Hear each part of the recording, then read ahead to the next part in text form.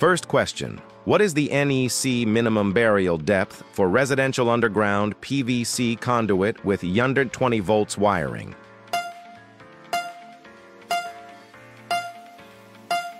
Answer C, 18 inches. Question 2.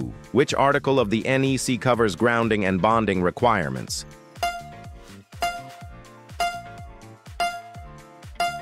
Answer A, 250. Question 3 NEC mandates. That bathroom receptacles must be protected by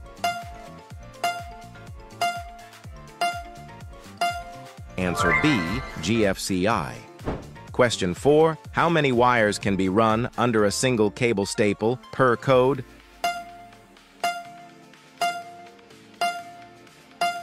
Answer B. 3. Question 5. The minimum clearance in front of an electrical panelus?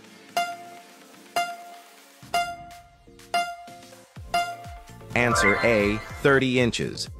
Question 6. What is the standard height for wall receptacles in new residential construction?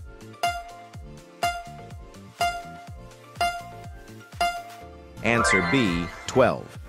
Last question. Which location is GFCI not typically required by code?